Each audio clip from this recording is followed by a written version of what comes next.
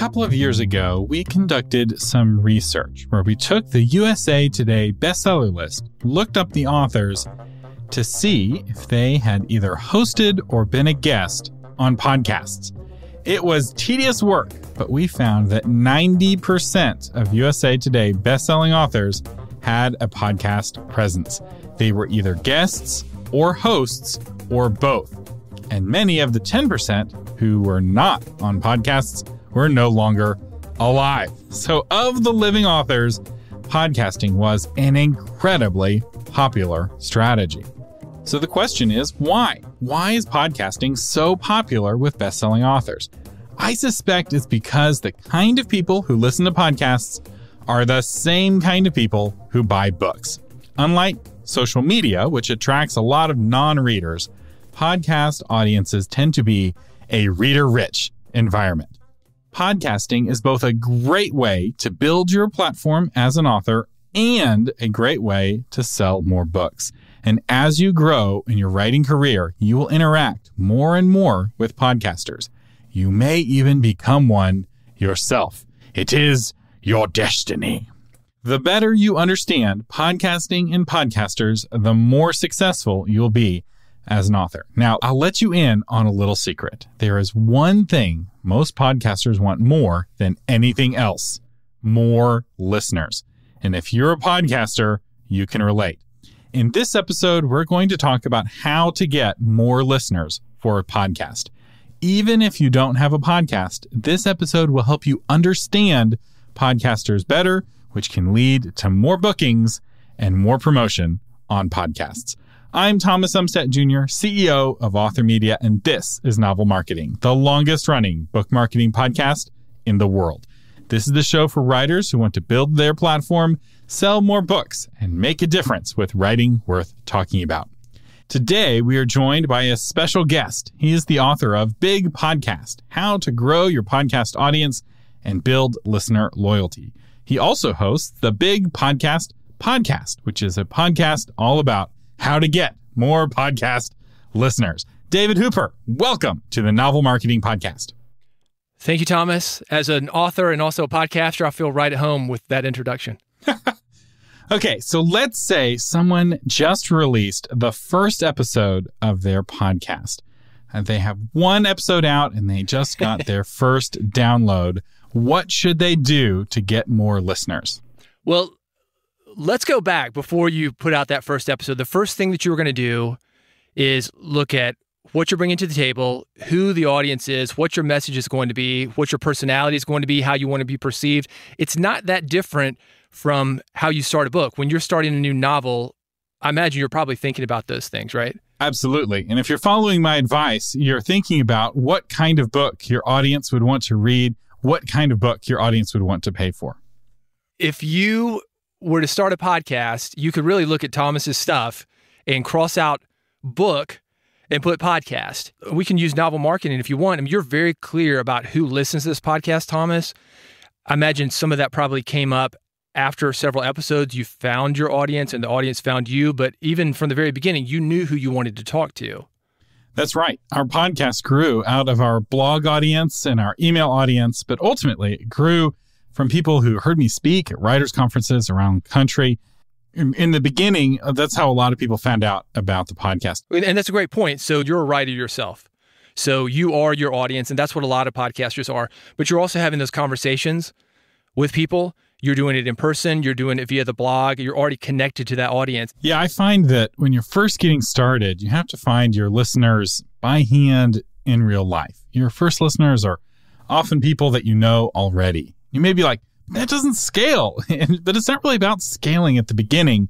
It's about getting to know your listeners and getting to know what they want because your podcast isn't going to be uh, just right fit for them at first. Uh, this podcast certainly wasn't. I mean, you know, we're past 300 episodes now, so our oldest episodes are falling off the feed, but those early ones back in 2013 were, were not very good. And that's true with every podcast. Like even seasoned podcasters, when they first start their podcast, there's a little bit of a, a, mismatch. It takes a while for them to find their voice and to find their audience. Well, just like your books, right? You start with a first draft and you're continuing it. The difference between books and podcasts unless you go back and redo a book. And sometimes you do. Sometimes I've done it, a second edition, third edition on nonfiction anyway. But yeah, it's a living, breathing document. It should be changing just like we're changing as people. So I'm glad you have those old episodes. I would encourage everybody to go back and listen to the first episodes of this podcast. If somebody thinks, man, Thomas really has it together, yeah, he does because he's been doing it. He's been talking to people. He's been listening to listener feedback. And this thing has been growing based on that. It didn't start out perfectly. That's right. In a sense, you don't want to promote too hard right at the beginning. Let's say you somehow are able to get everyone in your target audience to hear episode one, and episode one is not very good. Well, now they've all made a judgment about you that you'd have to overcome as you get better. You know, Google, when it was first getting launched, they didn't do any advertising because they were like, we're getting better every day. The longer it takes someone to discover us, the better of an experience they will have when they do their first Google search. And it, got to the point where people who were using AltaVista, when they finally found out about Google, they try it one time and AltaVista is dead for them forever because Google is so much better. Uh, but they didn't start off that way. These folks didn't know that Google had been doing kind of fair to poor searches for two years before that. And being patient allowed them to build a better product that people wanted more. One of the things that I talk about in my book, Big Podcast, and I get a lot of pushback on this. People think, oh, how am I ever going to do that? I tell people to launch with 25 episodes. And they say, oh, man, I, I do one episode every two weeks. That's going to take me a year to launch. So, well, okay.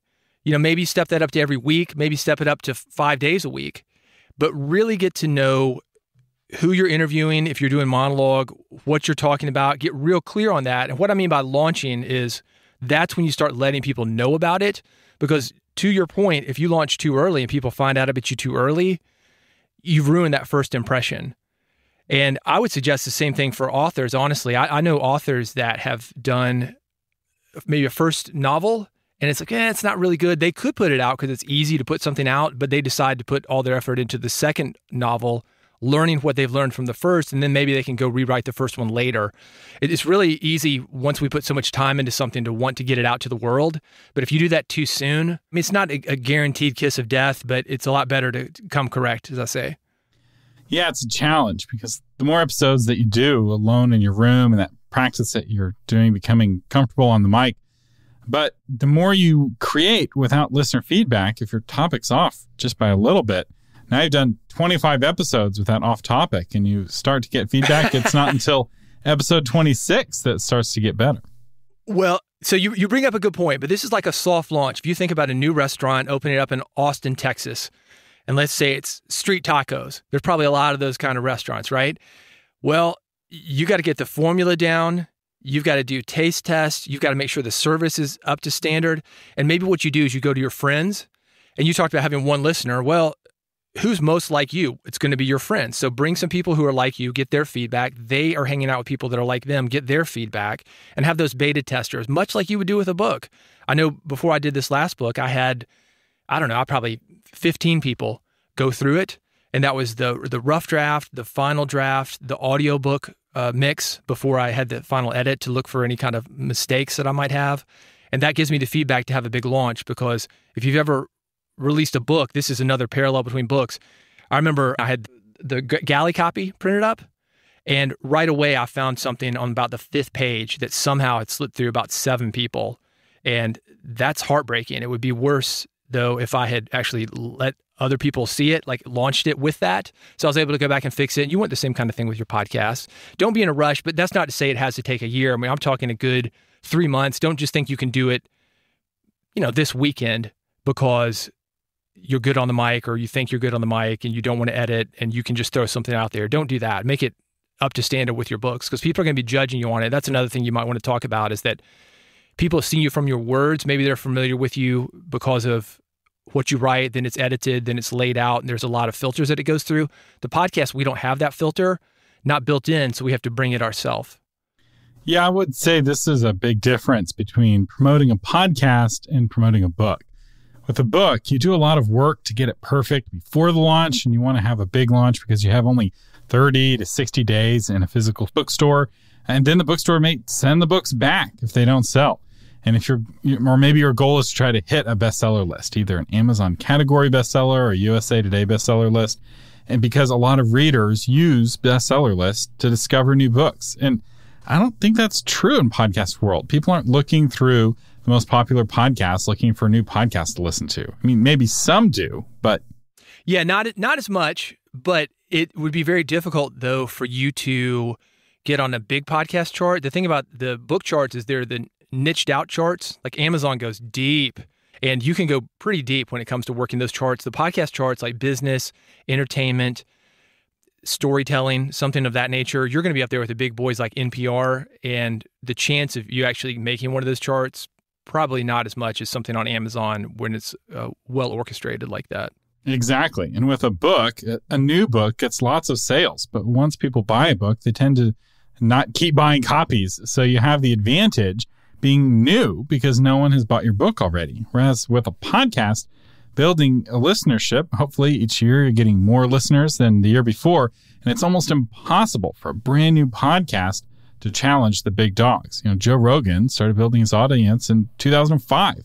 So you have to be asking, how do I get an audience like his? Well, work for 15 years, and maybe after 1,500 episodes, you can build up to something similar to that. You know, it's not like a book where that first week is often the best week of sales a book ever gets. With podcasting, the best week of downloads you ever see, maybe after five or 10 years of consistently putting out episodes. I would make the argument that Rogan started even before he had a podcast, though, because you think about him on Fear Factor, you think about him doing stand up and other things that he did. He was already sort of well known. Um, some people knew him, right?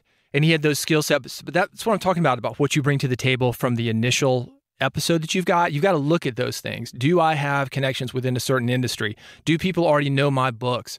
Are people asking for me to do more as far as content, possibly a podcast? Well, take advantage of those things. That can help you get started. And you can go to those people who are asking for that stuff to really find what they want and make it just for them. Those are your core listeners. And I, I think that is good advice, though, that uh, it's going to take a minute, but you can start somewhere. And you've probably already been doing that take a minute work with your books, the other work that you're doing, social media, mailing list, speaking engagements, whatever it is that you're doing to promote your books already. And if you want to be encouraged in your podcasting, just go back and listen to Rogan's early episodes, and they were awful. Being good at Hollywood and good at public speaking doesn't make you good at setting up a microphone. No, it doesn't give you a good setup. It took him a long time to actually sound good on a podcast. Well, let's talk about that for a minute because I think that it is very easy to look at somebody like you, Thomas. You've been doing it for a while, and somebody say, "Oh, well, Thomas has it together. It's easy." Uh, well, 300 episodes in, he's learned some stuff. Like you said, you can go back and listen to those first episodes. They're not as good. And one of the things that you can do to help yourself get better on the mic, every podcaster needs to edit himself, herself for the first 100 episodes at least. Because you will find ums and ahs and vocal ticks and sayings. You know what I mean? There's other things that you're saying other than ums and ahs that you're probably not aware of that you will be very aware of when you hear them in your edit. Like, oh, do I talk like this? Well, yeah, you do. But you got to get comfortable with your voice. It'll also make you comfortable with your voice. It can be scary for some people to listen to themselves. And I understand that. Yeah, I still do some of the editing for this show. I do a content pass, but even now I listen to every episode. Even if I don't do the editing, I listen to at least once because how can I expect someone else to listen to the show if I'm not going to listen to it myself? And if I'm bored with my own show, there's something wrong and I don't want to create a boring show. But now we have somebody who has started, they are working on making a podcast better every episode. They've reached out to their initial group of friends, and those friends have gone on to tell more friends. So now they have an audience, but let's say they've hit a plateau. They have a consistent number of downloads every episode, but they can't seem to break past it. So, what advice do you have for converting listeners into listener evangelists? Oh, you're going to make the listeners do your work. Okay. well, you can certainly encourage them. The, the best thing you can do, I saw a street performer do this once, and I thought this was brilliant. This was in Santa Monica. It was the, the limbo guy. If you've ever been out to Venice Beach, and he did his show and he's jumping on glass. If you're familiar with this guy, everybody in Venice Beach knows him. And at the very end, he said, All right, I'm going to go around and I'm going to collect money. I don't want $1, I want $2. And I think, that this guy just doubled his money. This is don't give me one dollar. I want two dollars. And I think if you look at what you're asking for from your audience as far as getting those listeners engaged. Tell them what you want. Don't ask too much. Don't tell them to tell 20 people, but say, hey, look, I know you've got one friend. You got to have two, right? You can be funny about it. At least you got two friends, right? Two friends that are doing books or into what I'm writing about. Tell those two friends, do me a favor, help me build this. And you're not going to get everybody. You might get 5%. But what you want to do is be clear with your audience to let them know that this thing isn't just growing on its own, that you really need them to be involved. And one of the ways that you can get them to be involved is to let them be involved in your content. And I would say also incorporating listener voices into the show. You know, you listen to a podcast pretty carefully. Normally, may- maybe it's in the background, but if you called into the listener voice line, if you ask a question, you're not listening in the background anymore. You're listening in the foreground. You're paying attention. And if one of your listeners hears their voice on your show, they are much more likely to share it. That, hey, I got on my favorite podcast. It's something to talk about. It, it makes it remarkable. I'll give you a quick way to do it. Go to Google Voice, set up a voicemail. They will let you download MP3s of that voicemail message, and you can incorporate those into your podcast. You should edit them. You'll get some weird ones. Be prepared. But not only do you get social proof there, you make the conversation more interesting. You're bringing in these other voices, and you're also getting those people that are your biggest fans to have them build the content with you. And then they're even more engaged to go back to what you said, Thomas, about evangelizing for you. So it works on about three different ways there. That's right. And if you've ever heard me at the end of this show feature our listener helpline, which is 512 827 8377, it's a Google Voice number. And when you leave a voicemail there, transcribes the text and sends it to me. So I'm able to quickly find out who's leaving a real voicemail and who's just trying to sell me car insurance or whatever. And what I do is I download those MP3s as they come in and I put them in a special folder on my computer. And when I'm looking for episode ideas, that's often a, a go to place.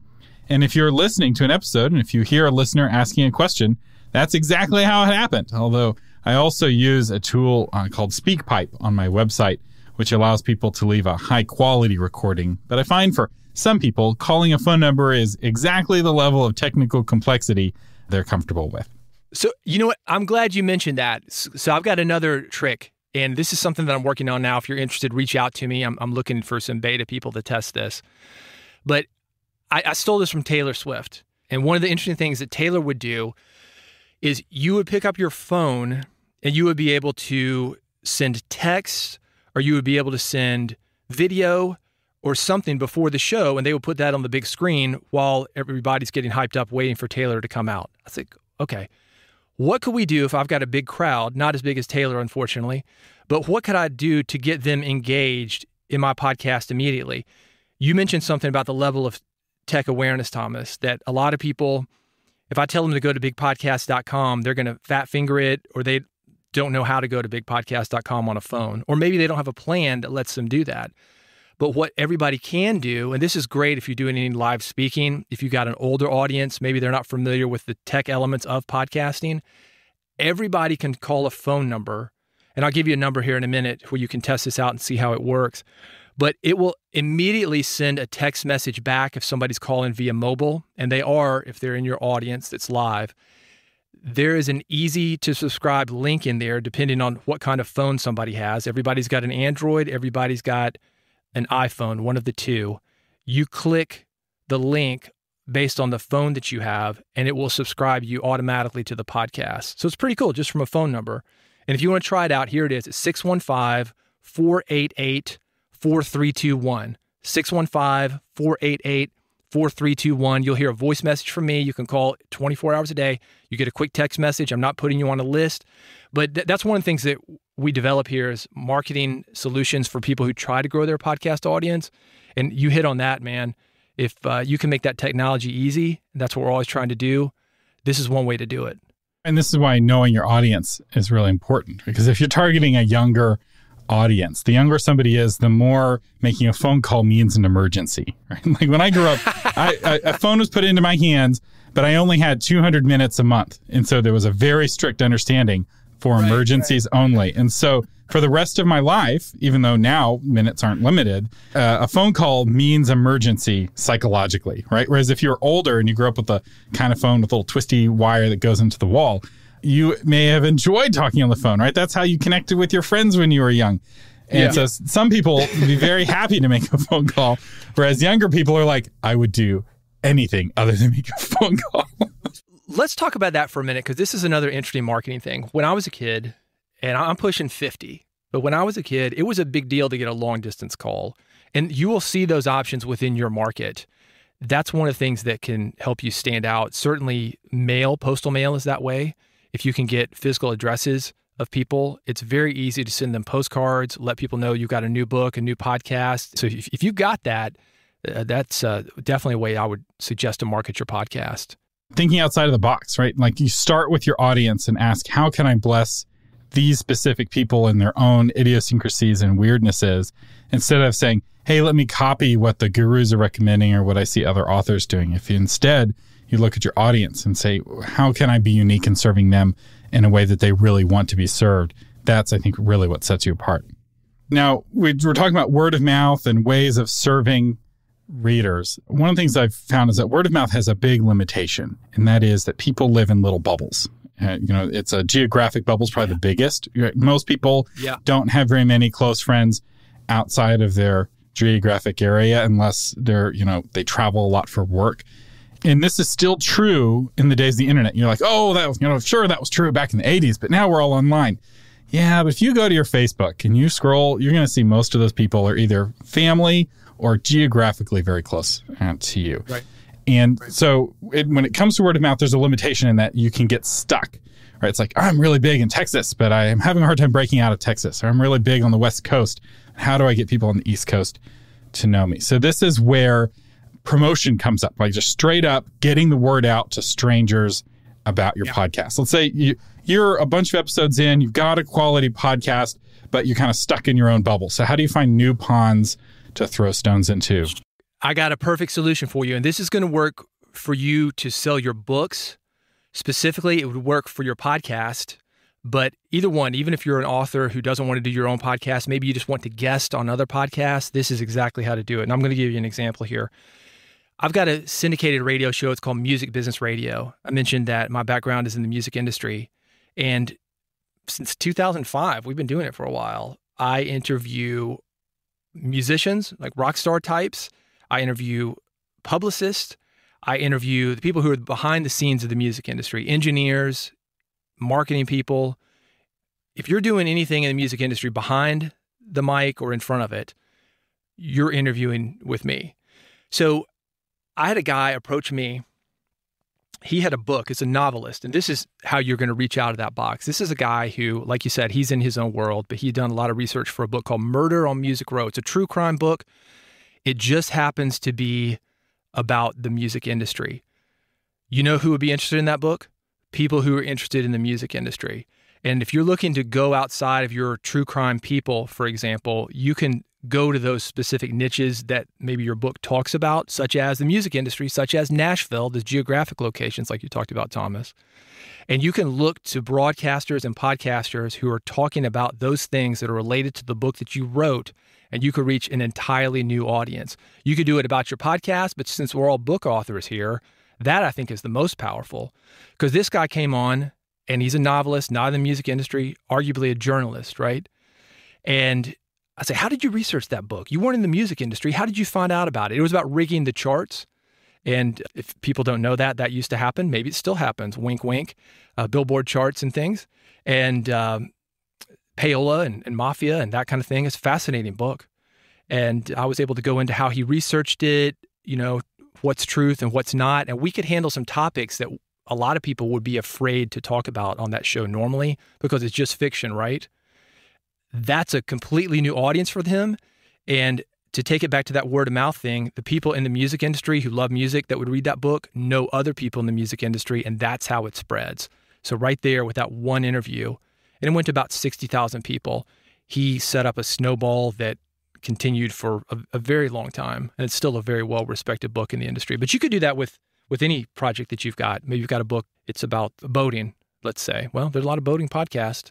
You got a true crime boating mystery. I'm sure that these boating podcasters would love to talk to you about it, even though you're not their normal guest and that's not your normal audience. Exactly. And one really common way to do this if you have a podcast is to just partner with other podcasters. And there is one class or category of podcasters who do this better than everyone else. So that if you look at the median download numbers for podcasts overall, it's like 60 downloads. Obviously, the top podcasts get a ton more, but like the median number of downloads for a new podcast, 60 downloads in almost every category except for history. In history, the median number of downloads is 500 downloads per episode. So you have to ask the question what are the history guys doing that everyone else is not doing? And I'll tell you, they are collaborating. so it's very common when you listen to a history podcast to hear it introduced by some other history podcaster. So be like, hey, I'm so and so with the History of Byzantium podcast, and you're listening to the History of Vikings podcast. And they give each, and they trade that, right? So they each introduce each other. And then another thing that they do a lot is a crosscast, where they'll conduct an interview, kind of like what uh, David and I are doing right now. And then they'll both edit it separately, put beginnings and endings separate, and release it for their respective audiences. And it'll be a classic example is the Byzantine history. They had the Varangian Guard, which are these elite mercenaries that were Vikings, right? So you had these people in Constantinople, and they had these big blonde haired Vikings that were a different language and a different religion, and they guarded the emperor, right? So who does he have a guest interview with? The History of Vikings podcast, who doesn't maybe know a whole lot about the Byzantine Empire, but he knows a lot about Vikings, and they share their expertise in a really fun way while also introducing their shows to each other's audiences because they realize, hey, if somebody's a fan of history, they're a fan of history. And me listening to the History of Rome podcast doesn't keep me from listening to the History of Russia podcast. Yeah, I think basically that's what I would call syndication. So anytime you can be on somebody else's network or feed or station, and it doesn't necessarily have to be, I mean, it could be an intro, like you mentioned. It doesn't have necessarily have to be a full on episode. It could be a segment. It could be content that you create and say, hey, you can use this, chop it up any way that you want. That's also great. So I would definitely suggest that if you're doing your podcast and somebody comes to you, you interview him or interview her. I would say chop it up all you want. Do it. I mean, it's better for other people to talk about you than it is for you to talk about yourself. That usually has more weight. So if you can have other people talk about you in that way, do it. Yeah, as Peter Cook said, the problem isn't piracy, it's obscurity. If you're willing to share your content just a little bit, right? Like like Dave, like what you're saying, don't hold on to it so tightly. Let people share it. Let people outside of your community hear your voice, even gasp for free, right? It, instead of being like, oh, you know, you're taking my content for free. That's not yeah. how to think of it. You're thinking like, oh, you're providing me free promotion that you're not charging me for and you're giving me this great gift. Like once your thinking shifts in that way and you become more generous with your content and maybe more generous with your interviews, you know, maybe like, I'm not going to be a guest on a competing podcast. That's going to promote their podcast. And like, oh, yeah. don't think of it that way. It's like there's a new school and an old school of promotion when it comes to content and getting our stuff out. It's much better for you to get your content out any way possible and I'll give you a dirty music business secret that may help you as an author, as a podcaster. Jennifer Lopez, for example, she's not really making a whole lot of money on the music that she does because other people produce and other people write. They're making the royalties from the airplay and the streams. Where she's making money is she's a celebrity and she can do her own brand or she can do a movie for $20 million a pop. Same thing with a, band like Danzig or the Ramones. People aren't buying the records. Uh, they do live shows and they're selling t shirts. So if you think of it like that, like I'm a I'm a content creator and I've got merchandising and licensing, you could give your book away for free, your podcast away for free, and you could still figure out a way to to work it. So if you think big like that, you can do a lot with your podcast. Okay, so let's say I give you a thousand dollars and you have to spend that money promoting your podcast. Where do you spend it? Uh, man, I'm going to hijack that question because, and let me and let me tell you why.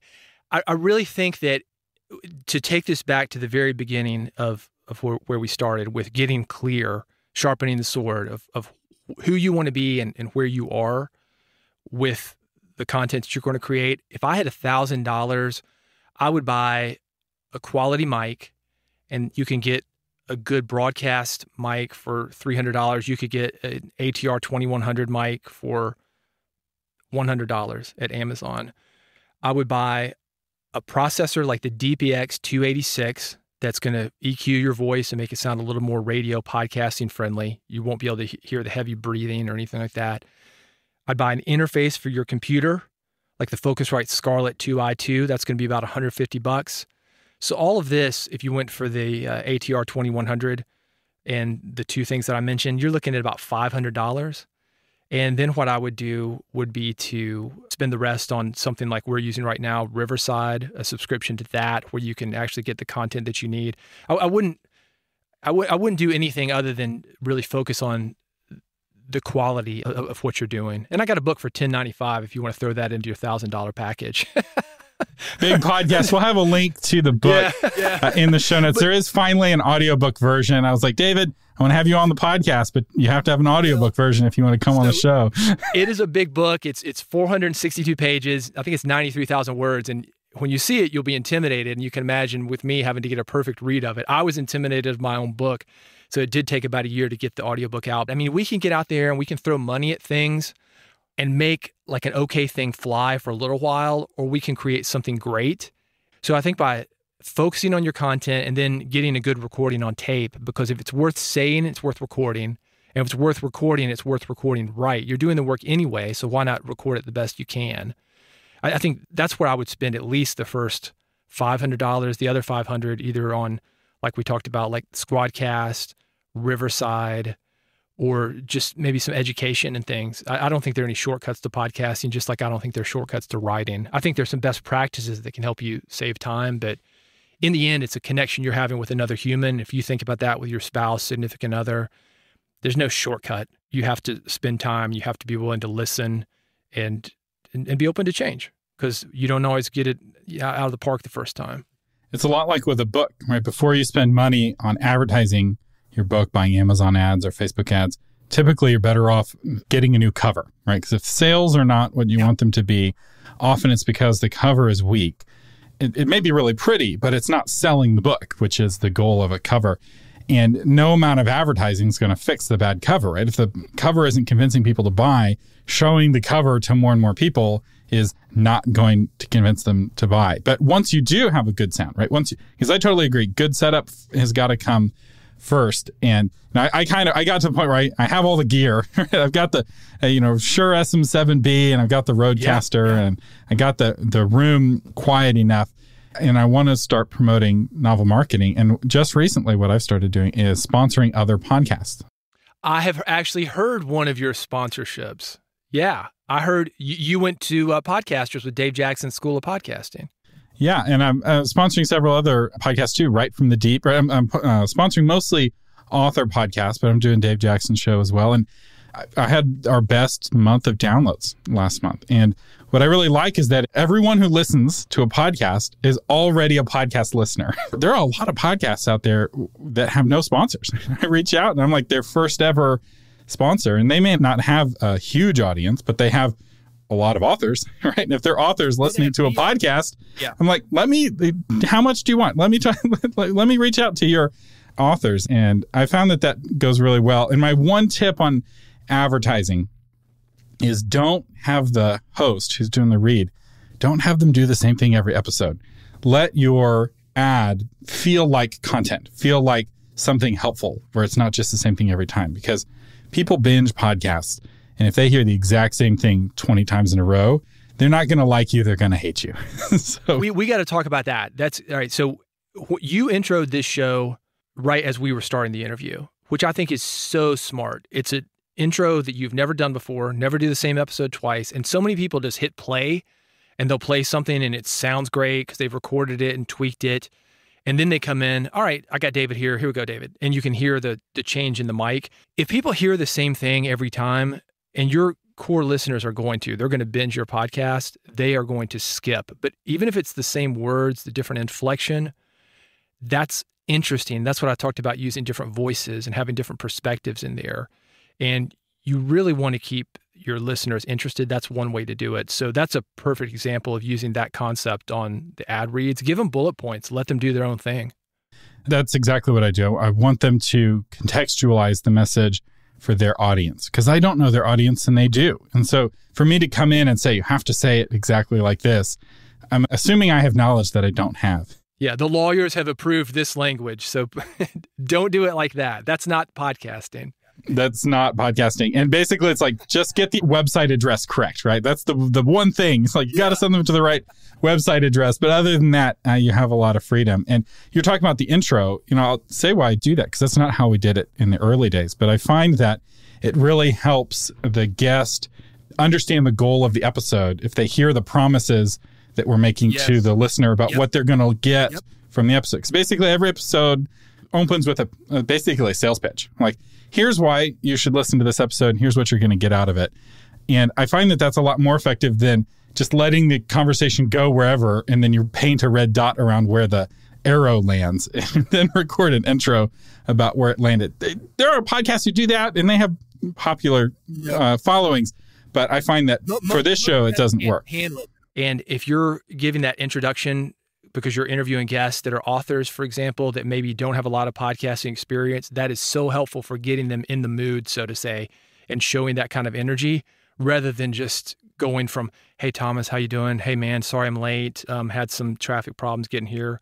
And then Thomas is like, "All right, welcome to the," you know, it's like most people can't do that.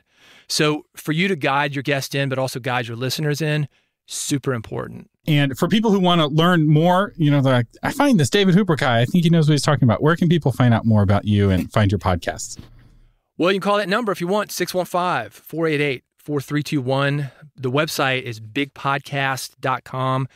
Everybody's a book author here. You're familiar with Amazon. If you search Big Podcast, the book will pop up. And I'd, I'd love for you to get it. And if it helps you, great. You know, and uh, if you got follow up questions, just bigpodcast.com. Happy to answer them. All right. Do you have uh, any last pieces of encouragement for a podcaster who's feeling discouraged by her low download numbers? You know, I don't think about downloads. I think about putting my message out there. And obviously, you want it to be heard, and you want it to make impact. That's what I think about impact. And if you think about this, this is actually the huge chapter in the book is a big part of it because a lot of people get depressed. They look at numbers. Numbers are not necessarily people. You want to focus on the people. And even if you've got a lot of download numbers, that doesn't mean anybody's listening. That doesn't mean anybody is actually doing anything with your stuff. It's just numbers, right? So I would focus on impact. If you've got the right fans, you can have a lot of impact. You don't need to have a lot of numbers. You just need to have to convince the people that are important that you can make a change for and do something with. Don't worry about. I mean, this is not broadcasting, right? So this is not uh, Broadway or a, a new movie that was a national release. This is about impact. I mean, Thomas does not have a, a top 10 podcast, but look at the impact that he's had. It doesn't take that many people to have a lot of impact. It's still a lot of people, but it's not millions. It's certainly doable, and it's doable for you. That's right. And one way to do that is to just picture the people in a room, right? Like, would you show up if you're invited to give a speech to, you know, however many people are listening to your podcast, right? If you're invited to, you know, fly to a conference and speak and they have that many people in a room, you know, if you're willing to do that and go through all the hassle of getting on an airplane, then, you know, you can show up every week and, and talk into your microphone. And because you speak at a big conference, you- you're at a breakout session, you may only have 20 or 30 people in the room, maybe 50. It's, you know, the median download number is 60. You're already above that, even at just the middle point of the graph, so to speak. So focus on those real human beings and it gets a lot more fun and it makes your podcast better too. and somebody comes up to you from that breakout session, they say, Hey, I'm the acquisitions guy from Amazon, and we're doing a new series, and I'd like to option your book for that. That's good. One person can do that. So uh, think think about those guys, those whales. Don't go for the tuna. Go for the whales. You you've got them in your audience and really focus on those, the people who really love you and the people who can do something with the information. All right, David Hooper We'll have links to his website. We'll have a link straight to the book on Amazon. We'll also have that phone number that he gave a couple times. If you don't remember, don't worry. Just go to authormedia.com slash 303 for the show notes. You can find links to everything we talked about today. David Hooper, thank you so much for joining us today on the Novel Marketing Podcast. I'm so glad to be here, man. I'm, I'm a fan as an author myself. I'm working on a couple more books, and I find this podcast highly encouraging. So glad to be part of it. Our sponsor today is the course How to Get Booked as a Podcast Guest. One great way to grow your audience of your podcast is to be a guest on other podcasts. 100% of the audience listening to podcasts listens to podcasts, which means it's very easy for them to listen to your podcast. In this course, you're going to learn a high credibility way to reach new audiences how to access podcasters you couldn't reach any other way, how to pitch them. It even comes with a pitch template. And not only that, how to nail the interview so they want to have you back and introduce you to their podcasting friends. You can find out more about the course, how to get booked as a podcast guest at authormedia.com slash courses. And if you're a patron of the Novel Marketing Podcast, you save 50% off the price of the course. Speaking of patrons, our featured patron today is Eloise White, author of Soul Inspirations. You'll gain a new relationship with Jesus as you trust him to be your confident healer and life giving friend. Eloise White, thank you so much for being a patron of the Novel Marketing Podcast. And if you would like to become a patron, you can do that at authormedia.com slash patron. And do you have a question you would like me to answer on the podcast? Call our listener helpline, 512-827-8377. You can also send us a high quality recording at authormedia.com slash contact. The Novel Marketing Podcast is a production of Author Media. This episode's audio was edited by William Umstattd, blog post by Shauna Lettler. The producer was Lori Christine, and I am Thomas Umstattd Jr., your host. To find that blog post version of this episode, visit authormedia.com slash 303. Thank you for listening, and live long and prosper.